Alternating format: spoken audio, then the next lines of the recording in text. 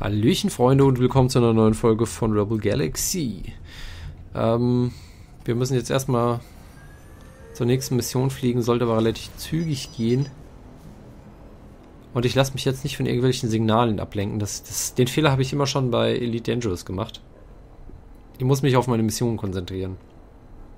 Die bringen nämlich eigentlich viel mehr Geld.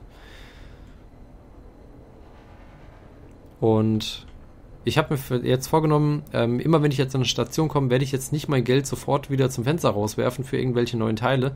Ich glaube, ich werde jetzt erstmal auf ein neues Schiffchen sparen. Ich glaube, das könnte ein bisschen interessanter für uns werden.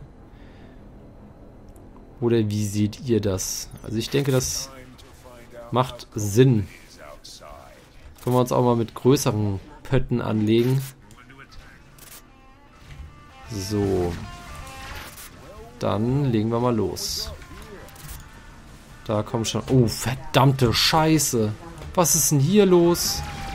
Ach du Kacke. Ach du Kacke. Das soll eine normale Herausforderung sein. Das ist aber schon eine ziemlich große Herausforderung.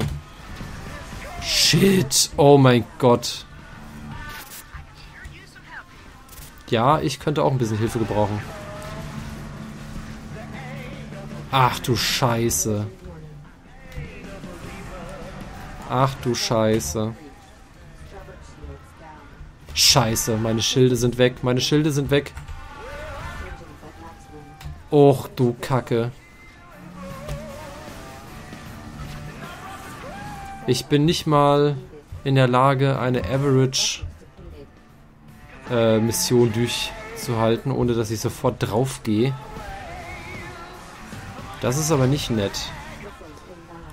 Ich glaube, ich muss ein bisschen aus der Reichweite von den ähm, Raketen bleiben.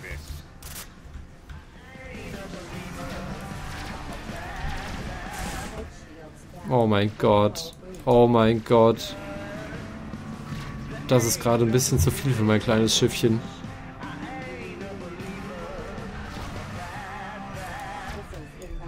Ja, ja. Die Deflektorenschilde kommen da nicht so richtig mit zurecht. Scheiße. Leute, das kannst vergessen, ey. Fuck.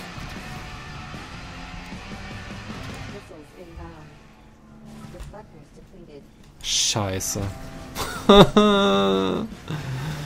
okay, es gibt jetzt zwei Möglichkeiten. Entweder ich versuche es mit so einem mit so einer Hit-and-Run-Attacke immer mal wieder schnell hinfliegen und dann Feuer.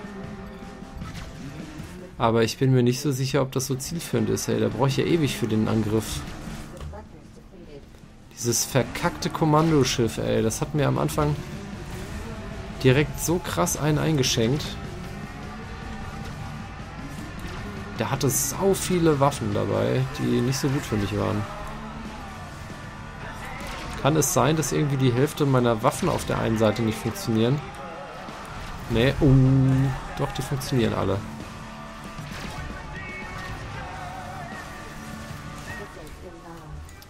Jetzt kriege ich die rechte Seite wieder...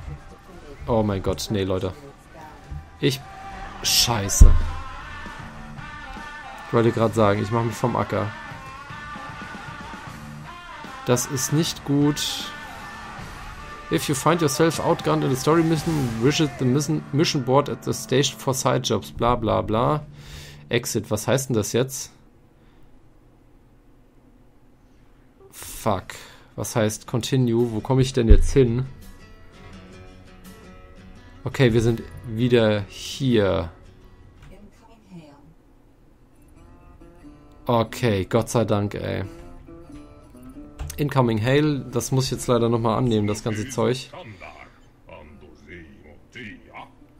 Ja, ja. Das kennen wir alles schon, das haben wir alles schon gesehen, diese Missionsbeschreibung. Boah. Ich hätte nicht gedacht, dass man so krass auf die Fresse kriegen kann. Das hat sich eben echt rentiert. Ein Glück gibt es hier sowas wie Safe Games.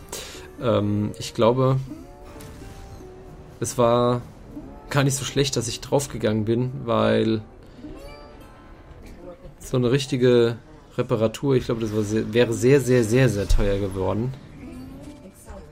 Bin mir nicht sicher, ob ich mir das überhaupt hätte leisten können. Gut, aber wir wissen jetzt, diese Mission, diese Hilfemission, die brauchen wir gar nicht erst probieren, diese durchschnittliche. Ähm, das schaffen wir nicht. Das schaffen wir mit unserem momentanen Schiff nie und nimmer. Oder wir brauchen irgendwie noch Hilfe. Aber unser derzeitiger Söldner, der kann das einfach nicht packen. Da bräuchte ich größere Begleitschiffe. Also es gibt ja noch andere Söldner, die man anheuern kann. Aber dafür habe ich einfach kein Geld momentan. Die sind zu teuer. Ich habe vor, vor ein paar Folgen habe ich mal eingesehen, der hatte irgendwie Kosten von 16.000. Das rentiert sich dann wahrscheinlich auch, aber pff, wo soll ich das jetzt bezahlen? Mit was vom Geld, ey? So, und los geht's. Hier ist aber, aber ich habe wieder nicht gesehen, dass wir großartig irgendwie so eine Secondary-Waffe hatten, die irgendwelche Raketen zerstört hat eben bei dem Gefecht. Naja, ist egal.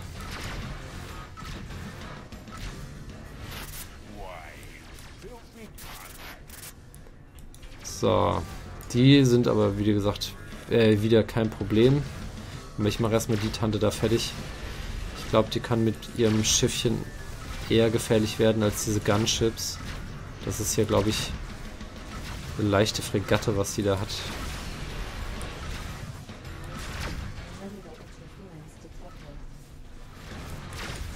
Aber die Raketen kommen nicht an, ich muss näher ran.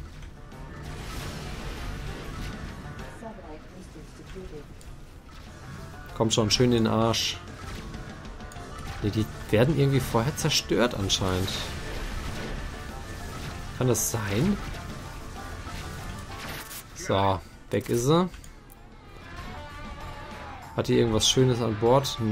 Oh, Ordnance Crate. Die nehmen wir sofort mit. Den Biowaste kann sie schön, können sie schön behalten.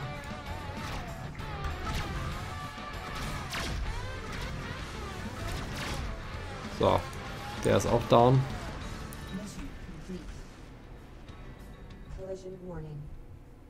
Wieso Collision Warning? Da ist doch gar nichts. Naja, also zu den Mercenaries fliegen wir definitiv nicht. Ich gucke mir mal diese Militia Aid Mission an, aber die ist ja auch Average. Ich hoffe jetzt, ähm, dass da wenigstens ein paar Kriegsschiffe sind von dieser Miliz eben, die uns auch ein bisschen helfen. Wenn ich das jetzt alles alleine machen soll, sehe ich da doch eher schwarz.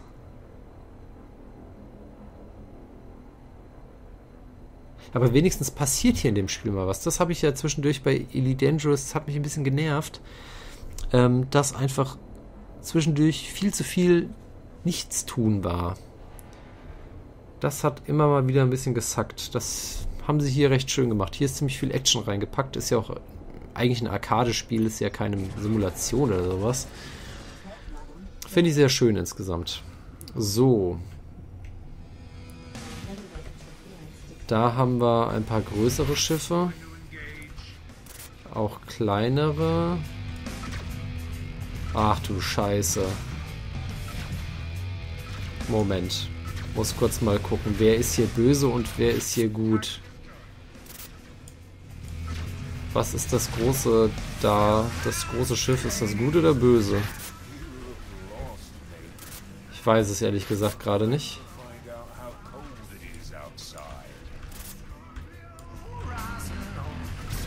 Ich kümmere mich jetzt erstmal auf jeden Fall um die Bomber. Ich will nicht, dass die mit ihren komischen Waffen wieder voll den Bürzel wegblasen. Scheiße. Und ich krieg gerade wieder Probleme.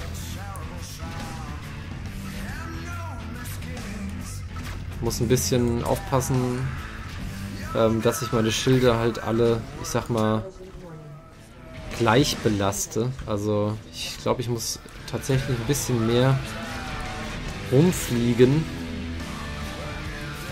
damit ich nicht immer nur die Schilde von einer Seite hab, die Probleme kriegen. Alter.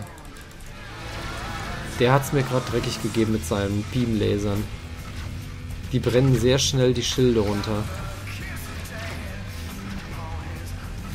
Zu schnell vielleicht. Ich muss den mal einloggen. Ich weiß nicht, ob meine Waffen den alle gelockt hatten. Scheiße, ich habe auch keine. Ich habe keine Raketen mehr.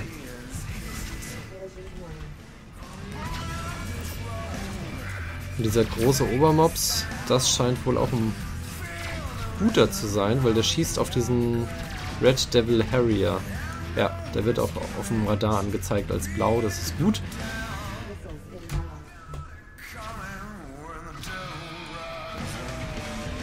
So, der ist down. Der hat gerade irgendwas verloren. Was hat denn der verloren gerade? Na gut, das werde ich jetzt wahrscheinlich nicht sofort herausfinden. Kümmern wir uns erstmal um die Gegner. Jupp, das ist wirklich a real mess. Also großes Durcheinander. Scheiße, irgendjemand macht meine Schilde von hinten links fertig.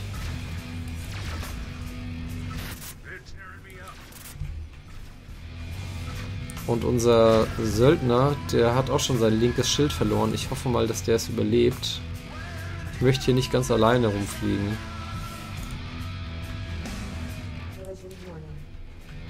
So, jetzt kämpfen wir zusammen, lieber Söldner. Kriegen wir das hin? Ach, locker.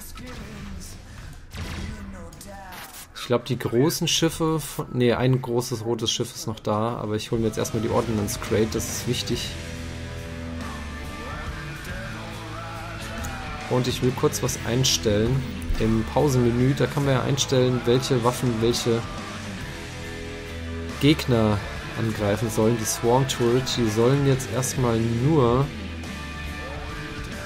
gegen Capital Ships gehen. Die sollen nicht verschwendet werden für kleine Schiffe. Scheiße, da haben wir wieder ein Kommandoschiff.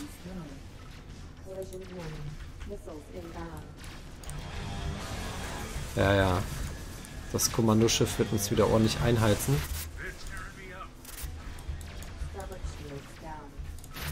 Scheiße, Starboard Shields down. Uah. Muss wieder ein bisschen Abstand gewinnen, damit sich die Schilde wieder aufladen können.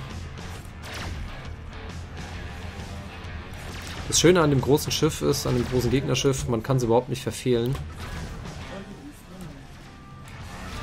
Aber es ist halt echt dick gepanzert, das Teil. Und ich sehe immer noch nichts von irgendwelchen Verteidigungswaffen. Scheiße. Und die Schilde sind wieder runter. Ich hatte ja eigentlich so eine Flakkanone gekauft, aber irgendwie sieht man die nicht. Ich will mal kurz was gucken kann die aber auch nicht auswählen. Gar nicht. Warte mal, System, muss man die vielleicht selber benutzen? Und ich habe es einfach noch nicht gesehen. Äh, Cycle Project Turrets, Select Broadsides, Cycle Missile Turrets. Scheiße, vielleicht muss ich die cyclen, die Waffen. Ich guck mal kurz. Nee.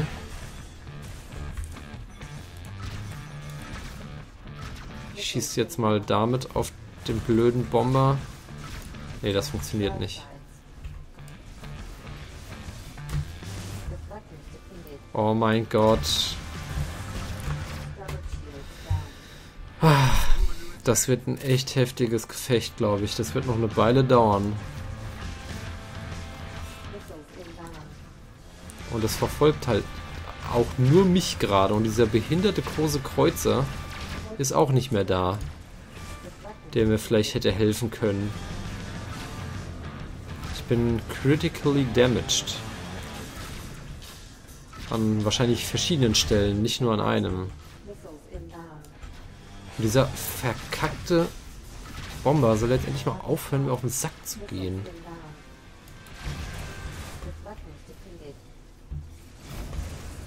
Ich treffe den aber auch nicht.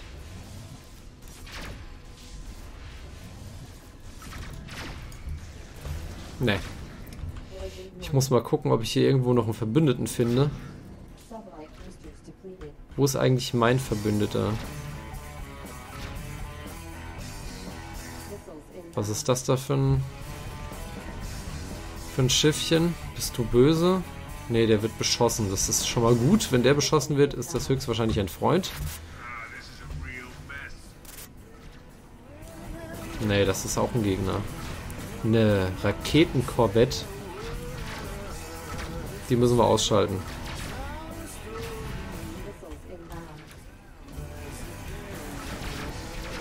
Aber der schießt nicht nur Raketen. Der schießt nicht nur Raketen.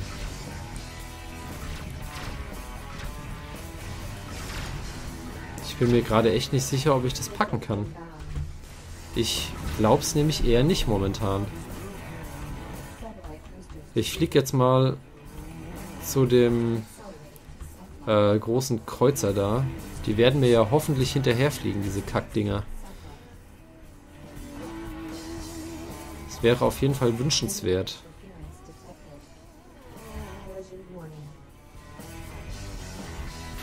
Kommen die mit? Jupp, die fliegen mir praktisch wie an der Schnur aufgereiht hinterher.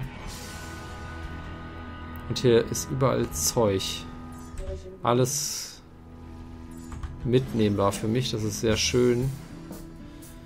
Aber ich würde jetzt ehrlich gesagt lieber überleben, anstatt irgendwelche Mineralien zu finden.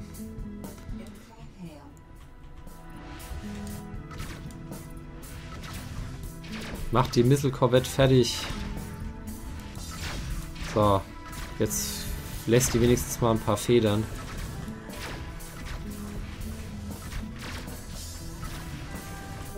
So, down. Meine Schilde vorne aber auch. Und das Kommandoship muss man doch jetzt irgendwie mal fertig machen können. Ah, scheiße, und schon sind die Schilde wieder zusammengebrochen.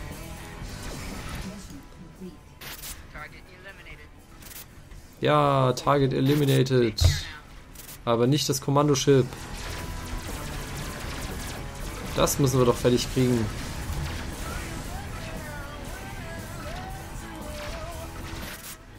Aber die haben wenigstens noch ein paar Raketen, was sie gegen das Kackvieh aufbieten können. Oh mein Gott. Nicht gegen das Ding gegen Kesseln. So, der Bomber muss auch weg. So. Hätten wir das auch erledigt. Und ich glaube, jetzt ist tatsächlich nur noch das beschissene Kommandoschiff übrig. Und das hat sogar gerade seine Schilde verloren.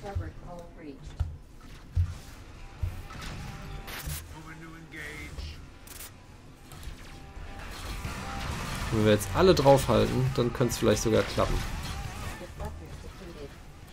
Scheiße, und meine Schilde gehen... Oh mein Gott! Und meine Schilde gehen die ganze Zeit drauf. Ich bin echt nur noch am Wenden. Wo ist das Vieh jetzt hin? Oh, der hat sich versteckt, ey. Warte mal, Leute, ich versuche mal was. Ich versuche mir mal hinter den zu bringen, in der Hoffnung, dass ich dem quasi immer schön in den Hintern schießen kann. Und er nicht mal so eine gute Schussbahn auf mich hat. Ich versuche mich jetzt quasi immer hinter dem seinen Triebwerken aufzuhalten.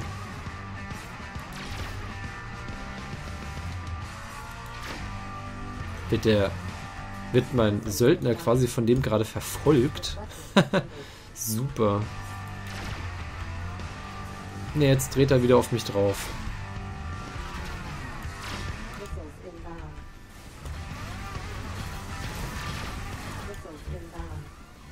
Irgendjemand... Ach, der große Kreuzer ist auch wieder da. Haha.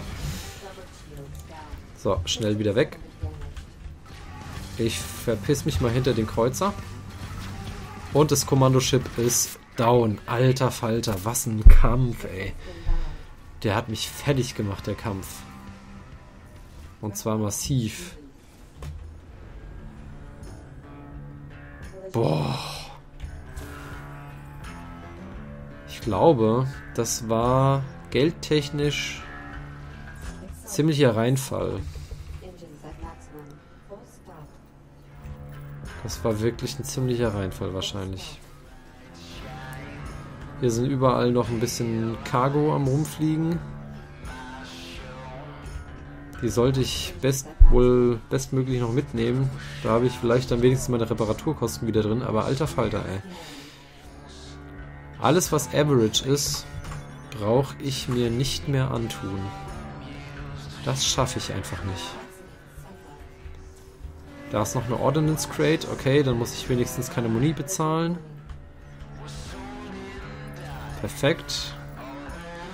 Boah, aber das war äh, fast ein bisschen viel Aufregung für mich, ey. Ich würde sagen, das war's für heute. Vielen Dank fürs Zuschauen und bis zum nächsten Mal. Tschüssi.